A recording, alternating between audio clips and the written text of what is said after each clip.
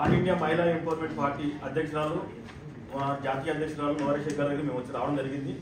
వచ్చిన తర్వాత బండ గణేష్ ఇట్లా టీవీ చూస్తున్నాము. బండ గణేష్ను అరెస్ట్ చేసిర్రు. బండ గణేష్కు సంవత్సరం జైలు శిక్ష. ఈయన తొంభై తొంభై మూడు లక్షలు తొంభై లక్షలు తీసుకున్నాడు. నేను శిక్ష పడదని టీవీలో వస్తుంటే మేడం మన ఇల్లుందిగా ఒకసారి చూసొద్దాము అని అక్కడ వెళ్ళింది. మేడంతో పాటు మేము కార్లో వెళ్ళడం జరిగింది. వెళ్ళి అతన్ని ఏమనలేదు. జస్ట్ ఆమె పోగానే అన్న అక్క అక్క అని కాలు మీద వాడినట్టు చేసిండు. మమ్మల్ని అన్న అన్నాడు ఆమెను చెల్లె అన్నాడు. ఆ అమ్మాయినేమో చేయబట్టుకొని లోపల తీసుకొని నువ్వు లోపల రాని పర్సనల్గా మాట్లాడాలని ఆమెను చేయబట్టుకొని తీసుకెళ్ళిండు. ఈ నలుగురిని చేసిన తర్వాత సడన్గా అక్కను కొంచెం రా అని చెప్పి సీసీ కెమెరా ఎక్కడ లేదు అక్కడ అక్కని తీసుకెళ్ళిండు. ఆ సీసీ కెమెరా లేట్ రూమ్లో కూర్చోబెట్టి వాటర్ బాటిల్తో ఇక్కడ వీడియో ఉంది. వాటర్ బాటిల్తో కొట్ట- కొట్టి ఏ అని చెక్ చేయడం మాట తిడుతుంది ఆ బూతు మాటలు వాటర్ బాటిల్తో అన్న అట్లా చేయొద్దానని మేము చెప్పిన ఆ అక్క చెప్పింది ఆమె కూడా చెప్పింది. ఆమె నువ్వు ఎవరని ఆమె తిట్టిండు ఈమె తిట్టిండు. అయినా మేము సైలెంట్గా ఉన్నాము. బండ్ల గణేష్ ఇంట్లో సీసీటీవీ ఫుటేజ్లో మేము వెళ్ళిన వాళ్ళు మేము అని చేశామా? బండ్ల గణేష్ మా పక్కన కూర్చుండు. మేము గంట పక్కన కూర్చోలేదు. ఆయన వచ్చి మమ్మల్ని ఏమని చెప్పండి ఏమని చేయండి అంటే మేము చెప్పమాట తప్పు తప్పే. ఆమె వెళ్ళింది మీరు ఉన్నారు. మీరు ఆమె తెలుసుకోండి. అంటే మమ్మల్ని ఎందుకు ఇన్వాల్వ్ చేస్తారని మేము చెప్పినాం. అది వదిలేసి సాయంత్రం నాలుగున్నర గంటలకు అక్క పిఎస్కి వెళ్ళింది. కంప్లైంట్ ఇస్తే వాళ్ళు తీసుకోలేదు. కానీ మా మమ్మల్ని పిలిచి ఇన్వెస్టిగేషన్ చేస్తున్నాము? మీరు రౌడీలు మీరు గుండాలు వాళ్ళ ఇంటికి పోకూడదు అంటే నేను మేడం వెంబడి పోయినాము. మా పార్టీ అధ్యక్షురాలు ఆమె ఆమెతో ఆమెతో పాటు ఆమె ఇంటికి వెళ్ళాము కామన్గా కమిట్ అయినారు నీకు తెలుసా? Commit- కమిట్ అయితేనే ఇలాంటి మాటలు చెప్తారు. అని చెప్తుంటే ఇట్లా వచ్చిండు? మూడు ముప్పై ఎనిమిది నిమిషాలకు. ఎగ్జాక్ట్ బండి సంజయ్ గారికి ఫోన్ చేసి స్పీకర్ పెట్టి అన్నా ఎక్కడున్నావు అన్నా అంటే బండి సంజయ్ గారు నేను కరీంనగర్ పాదయాత్రలో ఉన్నా చెప్పు ఏమనుంటే నేను చూసుకుంటాను ఆయన అన్నాడు. ఈయన మాకు స్పీకర్ పెట్టి మాట్లాడాడు అక్క కూడా బీజేపీలో పని చేస్తుంది మాకు కూడా బీజేపీ అంతా ఉంటాం కాబట్టి మాకు తెలుసు. మేము వెంబడి ఆయన ఫోన్ చేసాం మాకు సంబంధం లేదు వాడు దొంగ అని చెప్పి ఆయన కూడా చెప్పిండు. బీజేపీలు కానీ కాంగ్రెస్ పార్టీలో పేరు చెప్పి అందరినీ ఈడ గురి చేస్తుండు. నిన్న బండ్ల గణేష్ మూడు రెండు నలభై ఐదు నిమిషాల నుంచి మూడు నలభై నిమిషాల వరకు ఎవరెవరు ఫోన్ చేసారో బండ్ల గణేష్ కాలేజ్ తీస్తే తెలుస్తుంది. ఎంబడే ఫోన్ ఎవరికి చేసి ఆ కుండలెడ్డి అన్న ఉన్నావా? ఒకడు వచ్చింది ఒకటి వచ్చింది నేను ఇట్లా చేస్తున్నా అట్లా చేస్తున్నా అని చెప్తున్నాడు. అసలు విచ్చలవిడిగా గవర్నమెంట్ పేరు వాడుకుంటున్నాడు. బండి సంజయ్ గారికి ఆయన సంబంధం లేదు ఆయన పేరు వాడుకుంటున్నాడు. అక్కడ ఉన్న ఫిలిం ఈ ఫిలిం ఇండస్ట్రీలో పేరు వాడుకుంటున్నాడు. వాడుకొని మేము అక్కడికి వెళ్ళి రెండు నలభై నిమిషాలకు వెళ్తే మూడు నలభై నాలుగు గంటల వరకు మామూలుగా కూర్చోబెట్టి ఐదున్నర వరకు ఐదున్నర వరకు మేము ఇంట్లో కూర్చున్నాము. నాలుగు గంటల మాకు ఇవ్వకుండా ఎఫ్ఐఆర్ చేయించిండు చేపించి పోలీసు వాళ్ళు వచ్చి పిఎస్కి తీసుకెళ్ళారు కూర్చోబెట్టారు స్టేట్మెంట్ తీసుకురు మేము కంప్లైంట్ ఇస్తే వాళ్ళు తీసుకోలేరు ఆయన కంప్లైంట్ ఇస్తే మనం తీసుకొని ఒక పేపర్ మీద మేము పల్- పలానా పలానా రాపించుకొని మా స్టేట్మెంట్ తీసుకొని సైన్ తీసుకురు మాకు ఉదయం సాయంత్రం వరకు పోలీస్ స్టేషన్ నుంచి ఫోన్లు వస్తున్నాయి. వాళ్ళు ఎవరు చెప్పు వీళ్ళు ఎవరు చెప్పు వీళ్ళు ఏం చేయండి వాళ్ళు చేయండి అని. పోలీస్ స్టేషన్లో పోలీసు వాళ్ళు మాకు హరాస్మెంట్ చేస్తున్నారు. వీళ్ళు చెప్పు వీళ్ళ పేరు పేరు చెప్పు వాళ్ళ పేరు చెప్పని మేము మహిళా ఎంపవర్మెంట్ పార్టీలో పనిచేస్తున్నాము. కార్యకర్తలాగా మా అధ్యక్షురాలు ఏమిటి పోయినాము. అన్న తప్పేం లేదు. ఒకవేళ బండ్ల గణేష్ మీద దాడి చేస్తే వాళ్ళ ఇంట్లో ఉన్న సీసీ ఫుటేజ్ బయట పెట్టండి మనం అరెస్ట్ చేసి రిమైండ్ చేయండి. బండ్ల గణేష్ మేము తిట్టితే ఆ తిట్టిన సీసీ ఫుటేజ్ కానీ మన వీడియో రికార్డు ఉంటే మమ్మల్ని అరెస్ట్ చేయండి. బండ్ల గణేష్ మమ్మల్ని అన్న అన్నాడు ఆమె చెల్లి అన్నాడు ఈమెను అక్క అన్నాడు. అనేసి. ఇట్లా చెట్ట చెట్ట మాటలు. అసలు ఆడపిల్ల కుమ్మడి చూపించదు నేను చూపిస్తున్నా ఇగో. ఇదో లంచ ఉడక ఆఖరి చెట్ట చెట్ట ఆడ- ఆడపిల్ల కూర్చున్నాడు. ఆయన తిట్టి ఆయన ఉన్నాను కట్ చేసి చెప్తున్నా, అప్పటికి కూడా నేను.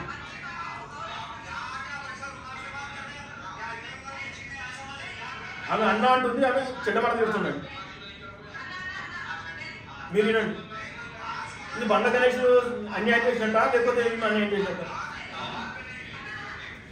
మేము మా చెల్లెళ్ళు మా కార్యకర్తలు మా మేడంతో సహా మేము బయట తిరుగుతూ ఉంటాము. బండ్ల గణేష్ తోని మాకు తెట్టింగ్ ఉంది. బండ్ల గణేష్ మమ్మల్ని చంపేస్తానని బెదిరించిండు. మా కార్యకర్తలు కానీ ఈరోజు సంబంధించిన ఎవరైనా సరే ఎటువంటి హాని జరిగినా ఏ పోలీస్ కేసు అయినా జరిగినా దానికి ముఖ్యం బండ్ల గణేషే దానికి బాధ్యత వహించాలి.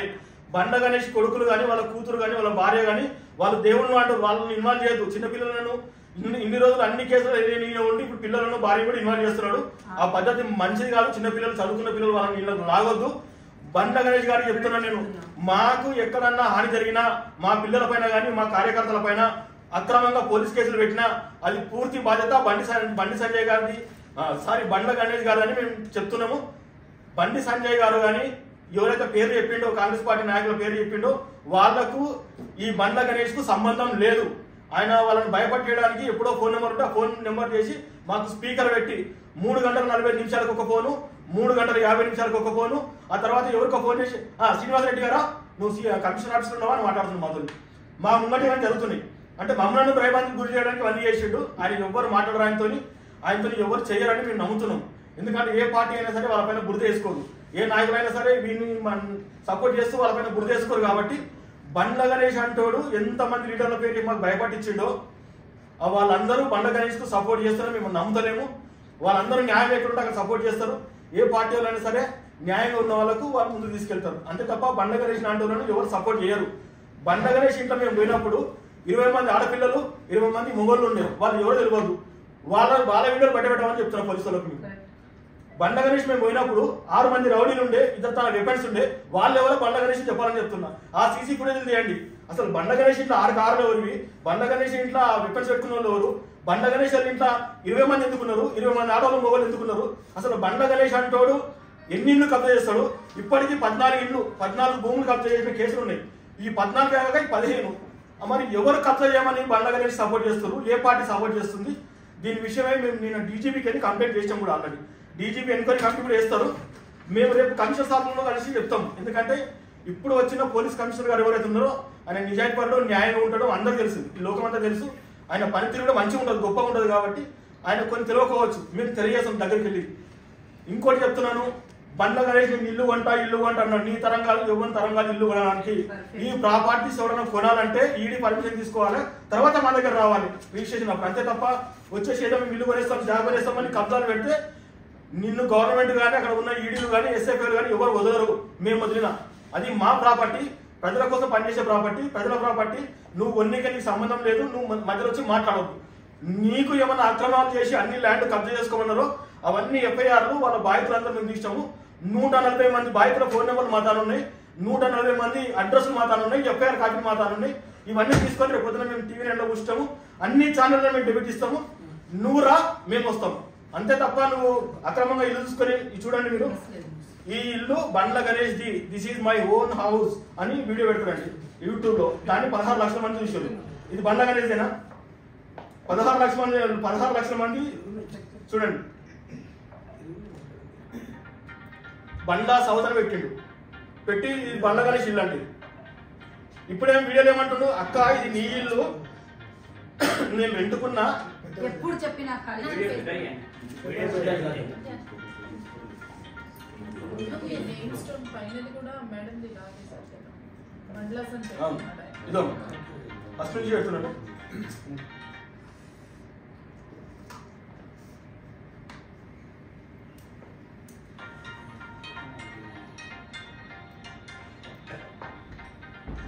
ఇదో స్టార్టింగ్ నుంచి. బండాస్ హౌస్.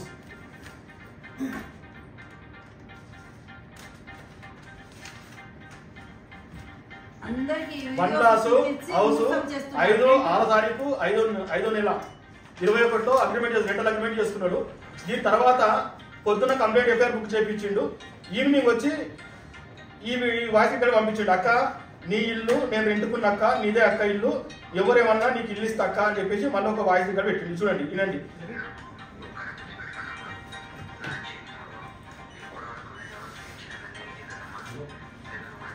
అది ఎంత ఏరియా ఉంది. ఉంది అది ఇల్లు. ఇల్లు ఎంత చెక్కుంది అది ఫస్ట్ ఫ్లోర్ ఇచ్చి ఉన్నాము రెంట్కి. సెకండ్ ఫ్లోర్ థర్డ్ ఫ్లోర్ వచ్చి మనదన్నమాట మనం పెట్టుకొని ఉన్నాము. నిన్న పోతే అక్కడ పోనివ్వడం లేదు. కబ్జా చేసుకొని కూర్చున్నాము. ఫోటోలు అంతా టోటల్ అది ట్వంటీ ఫైవ్ థౌసండ్ ఇస్తారు రేపు మేము సిపి గారిని కలవబోతున్నాము. సిపి గారికి ఏమేమి జరిగిందో స్టార్టింగ్ నుంచి మొత్తం ఫైల్స్ చూపించుకుంటూ చెప్పడం జరుగుతుంది. సిపి గారి పేరు ఎందుకంటే అంత పెద్ద క్రిమినల్ని జాగా ఇస్తే పోలీస్ వాళ్ళకి కూడా గౌరవం ఉండదన్నమాట. ఆ క్రిమినల్ని తీసుకొని మాకు రియల్ ఓనర్ని ట్రస్ పాసర్ అని చెప్పడం అది చాలా పెద్ద తప్పు. ఎంక్వైరీ చేసుకోవాలా? ఎవరు ట్రస్ పాసరు ఎవరు వేరే వాళ్ళు అని చెప్పేది. Twenty five thousand square feet ఇల్లు నేను ఇవ్వను అన్నమాట ఫస్ట్ ఫ్లోర్ ఇచ్చినాను గ్రౌండ్ ఫ్లోర్లో ఉన్నాడు సెకండ్ ఫ్లోర్ థర్డ్ ఫ్లోర్లో నేను ఉంటానన్నమాట ఇప్పుడు ఎఫ్ఐఆర్ ఎఫ్ఐఆర్ నమోదు చేశారు కదా లీగల్ ఏమైనా వెళ్తున్నారా మీరు? క్వాష్ అది మా లీగల్ టీం చాలా స్ట్రాంగ్ అండి. చూసుకుంటుంది. మా లీగల్ టీం ఉన్నది లీగల్ టీం యాక్టివ్లో ఉంటుంది. ఈడీ వాళ్ళు ఏమన్నా మీ ఇంటికి వచ్చి సర్చ్ చేశారు? లేదండి. అప్పుడు ముందే ఈ టూ త్రీ డేస్ లేదు లేదండి. ఏమీ లేదండి. ఏమీ లేదు. ఎవ్వరు ఆల్రెడీ సుప్రీం కోర్టులో కేసు నడుస్తుంది ఈడీ వాళ్ళు అక్కడ ఇన్వాల్వ్మెంట్ అక్కడే అయిపోయిన తర్వాత. సెకండ్ టైం రాదు కదా. వస్తే కూడా నా నేను కంగ్రాచులేషన్ చెప్తాను వాళ్ళని కూర్చొని పెట్టాను. ఎప్పుడు కూడా ఏ ఆఫీసర్స్కి కూడా నా దగ్గర గౌరవం ఉండదు ఎప్పుడు కూడా వచ్చి వాళ్ళు చూసుకోవచ్చు మనకేమీ లేదు కానీ రాలేదు. నేను తెలియదు అది కూడా బండ్ల గణేష్ గారి ఇంటికి మేము వెళ్ళాము. నా చెల్లి నా అక్క నా తమ్ముడు నా చెల్లి అనుకుంటూనే అందరి మీద ఎఫ్ఐఆర్లు చేయించాడు ట్రెస్ పాస్ చేస్తున్నారని ఎఫ్ఐఆర్లు చేయించారు. మరి ఆయన ఉన్నది ట్రెస్ పాస్ కాదా? ఆయన ఉంటే ట్రెస్ పాస్. ఇంటి ఓనర్ వెళ్తే. ట్రెస్ పాస్ అవుతుంది కానీ మరి ఆయన వెళ్ళినప్పుడు ట్రెస్ పాస్ ఎలా కాదు? ఆయన ఆయన ఆయన ఉండటం కూడా ట్రెస్ పాసే కదా? పోలీస్ అతనికి వదులుతా ఉండాలి తీసుకొని నేమ్ లోపల. కూడా బయట ఆమె నేమ్ ప్లేట్ లాగేసి బండ్లాసన్ పెట్టాడు. అక్కడ స్టిక్ చేసేది క్లియర్ కట్గా కనపడుతుంది. మేము వెళ్తేనేమో మేము మర్యాద పూర్వకంగా అట్లా కాదన్నా సామరస్యంగా కూర్చొని అక్కతో మాట్లాడుకొని అదేదో డీల్ చేసుకొని ఆమెకి ఏదన్నా కావాలంటే అండర్స్టాండ్ చేసుకో అని చెప్పేసి మేము మర్యాదగా చెప్పాము. ఆయనకి లేదమ్మా చెప్తానమ్మా చేస్తానమ్మా అని చెప్పేసి అని చెప్పి మా ముందర మాట్లాడి అప్పటికప్పుడే లోపలికి సీసీ ఫుటేజెస్ లేని చోటికి ఆఫీస్లో రూమ్లోకి వీళ్ళని ముగ్గురిని తీసుకొని వెళ్ళేసి వాటిల్లో ఎత్తి కొట్టడము చెప్పడం అక్కడ మేము లేకపోతే కరెక్ట్ కరెక్ట్. ఆ- రోజు బండ్ల గణేష్ గారు ఆయనని మేడంని కానీ లేకపోతే అక్కడ ఉన్నటువంటి వాళ్ళని అటాక్ చేయడానికి మాదర్ సోదర్ని అబ్యూస్ లాంగ్వేజ్ యూజ్ చేస్తూ ఆయన మాట్లాడినటువంటి తీరు చూస్తే ఘోరంగా ఉంది అక్కడ. గౌరవించేది గౌరవ అత్తని కాళ్ళు పట్టుకుంటానంటాడు అక్కడ ఏమంటున్నాడు? అరే వీడియో రికార్డ్ తీయట్రా కాళ్ళు పట్టుకుంటా కాళ్ళు మొక్కుతా అని చెప్పేసి కాళ్ళ మీద పడబోతున్నాడు. ఎందుకు ఈ యాక్టింగ్లు? ఈ యాక్టింగ్లు ఇక్కడ కాదు. సినిమాల్లో నటిస్తే బాగుంటుంది కానీ ఈ ఇట్లా డ్రెస్ పాసులు చేసి మామూలు వచ్చి నటించడం ఎందుకు ఆయన బండ్ల గణేష్ గారు? బండ్ల గణేష్ గారు ఇకపైనైనా మీరు తెలుసుకోండి. మీరు వాయిస్ మెసేజ్ పెట్టారు. వాయిస్ మెసేజ్ పెట్టడం కాదు. వాయిస్ మెసేజ్ మీ ఆచరణలో పెట్టండి. ఆచరణలో పెట్టిన తర్వాత అవును నేను ట్రెస్ పాస్ చేస్తున్నాను ఆమె ఇల్లు నాకు ఎందుకని చెప్పి వదిలిపెట్టాలంటే ఆమెకి ఆమె ఇమ్మీడియట్గా మీ డబ్బులు మీకు ట్రాన్స్ఫర్ చేయడానికి సిద్ధమని కూడా చెప్పారు కదా? చెప్పిన తర్వాత మళ్ళీ మీరు మీ అబ్బాయి చేత పంపించి నన్ను పోలీసులు బెదిరిస్తున్నారు. బండి సంజయ్ గారికి కాల్ చేసి నువ్వు వస్తున్నావా? రా అని అంటే ఆయన పాదయాత్రలో ఉన్నానని చెప్పారు ఆ బండి సంజయ్ గారు కూడా నాకు సపోర్ట్ ఉన్నారమ్మా ఆ, రేవంత్ రెడ్డి గారు కూడా నాకు సపోర్ట్ ఉన్నారమ్మా అని అంటే అంటే రేవంత్ రెడ్డి గారు కానీ ఇలాంటి పనులు చేయమని చెప్పారా? ఇలాంటివి చేయమని మీకు పర్మిషన్స్ ఇచ్చారా? బండ్ల గణేష్ గారు ఇకనైనా మీరు ఈ విషయంలో స్పందించి ఆ ఇల్లు దాటుకుంటే బాగుంటుంది. పోలీసు పోలీస్ వ్యవస్థ తీసుకోవాలి. మరి అక్కడ ఉన్నటువంటి సీసీ ఫుటేజెస్ పరిశీలనలో పెట్టి మా మీద అందరి మీద గుండాలు రౌడీలు అని చెప్పేసి ఆ రకంగా క్రియేట్ చేసి మమ్మల్ని ఎఫ్ఐఆర్లో వాటిలలో చేర్చారు. మాకు ఫార్టీ వన్ సిఆర్పిసి. దాని కింద మా సంతకాలు ఆధార్ కార్డ్స్ అవన్నీ తీసుకున్నారు. సరే ఓకే మేము ఇచ్చాము. మరి అక్కడ ఉన్నటువంటి సీసీ ఫుటేజెస్ మీరు పరిశీలన ప్రాపర్గా జరిగినప్పుడు ఈ సీన్ కూడా కనపడాలి కదా? ఫైట్ చేసింది ఓనర్ని కూడా కొట్టింది. వాటర్ బాటిల్స్ లేపింది. ఓనర్తో ఫైట్ చేసేది మీకు ఎందుకు కనపడలేదు అని అడుగుతున్నా ఈ రోజు పోలీస్ వ్యవస్థను కూడా. మాకు పోలీస్ వ్యవస్థ మీద చాలా గౌరవం ఉంది. పోలీస్కి మేము రెస్పెక్ట్ ఇస్తాం. లా అండ్ ఆర్డర్కి మేము రెస్పెక్ట్ ఇస్తున్నాం. కాబట్టి లా అండ్ ఆర్డర్ ఇమ్మీడియట్గా వారిపైన యాక్షన్ తీసుకోవాలని కూడా మేము కోరుతున్నాం. ఇది. థ్యాంక్ యూ ఇప్పుడు నిన్న నిన్న. నిన్న ఒకటి ఎఫ్ఐఆర్ చేశారు. మీరానా? ఓకే ఎస్టర్డే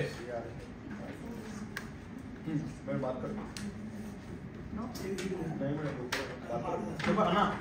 ఫిలింనగర్ పోలీస్ స్టేషన్లో నిన్న నిన్న సాయంత్రము ఈడీ డైరెక్టర్ అసిస్టెంట్ డైరెక్టర్ ఒక టా గజరాజ్ సింగ్ ఠాకూర్ అనే వ్యక్తి మీ మీద కంప్లైంట్ ఇచ్చారు. టోలీ చౌక్లో ఈ స్థలాల మీద బోర్డు పెట్టారు అని. అది కూడా ఎఫ్ఐఆర్ చేశారు. ఈ కుట్రలో భాగంగానే అంటారా? మీరు అది కూడా? నాకు భాగము ఏమి అని నాకు అది నాలెడ్జ్లో లేదు. వెళ్ళినారో లేదని కూడా నా ప్రొఫెషనల్ అఫీషియల్ నా చేతిలో పేపర్ వచ్చినంత వరకు దీని గురించి నేనేం మాట్లాడలేదు. వచ్చినా కూడా సుప్రీంకోర్టులో జరుగుతూ ఉన్నది. సుప్రీంకోర్టు ఆర్డర్స్ నా దగ్గర ఉన్నాయి సుప్రీంకోర్టు ఆర్డర్స్ అంతా ఒక బుక్కే ప్రింట్ చేసినాను. మన పోలీస్ వాళ్ళకు కూడా చూపించినాను. ఏ ప్రాపర్టీ కూడా నేను నా ఇన్వెస్టర్ల కోసం జమ చేయడానికి అమ్మితే నాకు ఎవ్వరు అడ్డం వచ్చేదానికి లేదన్నమాట. ఎవరు కూడా ఏ ప్రాపర్టీ అయినా కూడా. సుప్రీంకోర్టు ఆర్డర్స్ నా దగ్గర ఉన్నాయి అందుకోసము నా దగ్గర అఫీషియల్ ఏమి డాక్యుమెంట్స్ లేదు. దాని గురించి డిస్కస్ ఎక్కువ. ఈడీకి అటాచ్ చేసినటువంటి ప్రాపర్టీని అమ్మటానికి వీల్లేదు కొనటానికి వీల్లేదు అని అన్నారు. సరే ఆమె అమ్మింది. మరి కొన కొన కొన్న వాళ్ళు మీకు అండర్స్టాండ్ కాలేదా.